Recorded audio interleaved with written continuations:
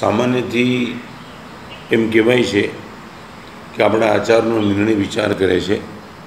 એ વાત કદાચ સાચી છે, પણ વિચારને તૈયાર કરવાનું કામ વાતાવરણ કરે છે. આચાર, વિચાર અને વાતાવરણ. વાતાવરણ જેટલું સરસ મળે એટલા વિચારો સારા અને જેટલા વિચારો સારા એટલો આચાર સારો. અને એ હિસાબે જ આપણે ત્યાં સુંદર મજાના તીર્થયાત્રા વગેરેના પ્રસંગો હતા એટલે મસ્ત વાતાવરણ મળે. એના કારણે વિચાર અને આચારનું ઘડતર સારામાં સારું થાય. આવું વર્ષો પહેલાં એક વાતાવરણ ઊભું કરી દીધું રજની દેવડીએ પાલિતાણામાં. એક એવો ઐતિહાસિક પાલિતાણાનો અભિષેક કર્યો હતો કે એના જે સાક્ષી બન્યા છે એને એમ લાગે કે આપણો આપણા જીવનનું એક પરમ સદભાગ્ય હતું. એનો સાક્ષી હું પણ બન્યો હતો. વર્તમાનમાં આવા જ એક અભિષેકની અલબ જલબ ઝાંખી જે ઓલો અભિષેક જોવામાં રહી ગયા છે, એને માટે એક સુંદર ઓપોર્ચ્યુનિટી સુંદર તક એ દિવસ છે પંદર ફેબ્રુઆરીનો.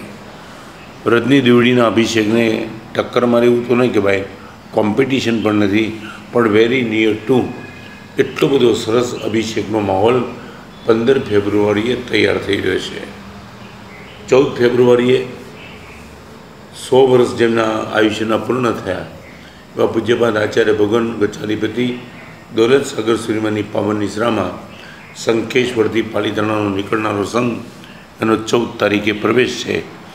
ભવ્ય પ્રવેશ, સંઘનો પણ માહોલ જુદો અને પછી પંદરમી તારીખે એક એકથી ચડિયાત અનુષ્ઠાન, જેનું વર્ણન પેમ્પલેટમાં તમે વાંચો તો ખબર પડે કે અભિષેક કઈ હાઇટ ઉપર આયોજકો લઈ જવા માગે છે.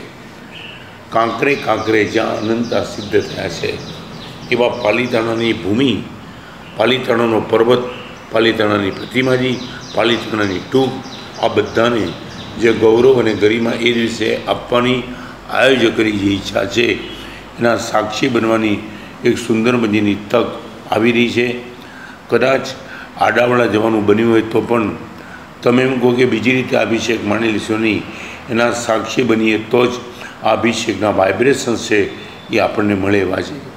તો એક નાનકડી ઈચ્છા થાય કે દૂર દૂર રહેલા જે આત્માઓ કોઈ પણ હિસાબે પંદર તારીખ ફેબ્રુઆરીનો અલગ પ્રોગ્રામ બનાવ્યો હોય, એ પ્રોગ્રામ કેન્સલ કરીને પણ પાલિતાણાના આ અભિષેક પ્રસંગે હાજર રહેવાનો પ્રોગ્રામ બનાવવા જેવો છે.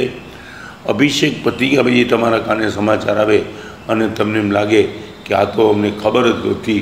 અમે જોવાથી રહી ગયા. આવું કશું જ ન થાય. એટલા માટે અત્યારથી કહું છું પંદર ફેબ્રુઆરી અને પાલિતાણાનું તીર્થ. સવારથી માંડીને પ્રોગ્રામ ભવ્ય, અતિ ભવ્ય. ચૌદમી તારીખે રાતના ટાઈમમાં ભવ્ય મહાપૂજા, આ વગેરે બધા જ પ્રોગ્રામો છે. એની જાણકારી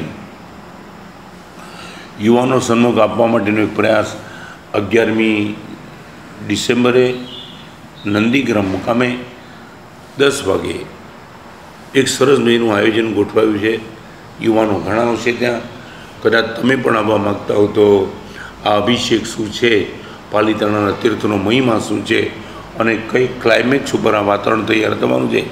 એની બધી વાતો અગિયારમી ડિસેમ્બરે નંદીગ્રામ મુકામે દસથી અગિયાર વાગ્યા સુધી મારી નિશ્રામાં થવાની છે. જેને જેને પણ આ અભિષેકની ભવ્યતા સમજવી હોય, ભાવ ઉચકવા હોય, વાતાવરણમાં જવું હોય, એ બધાએ નંદીગ્રામ એ દિવસે આવી જવું અતિ જરૂરી છે.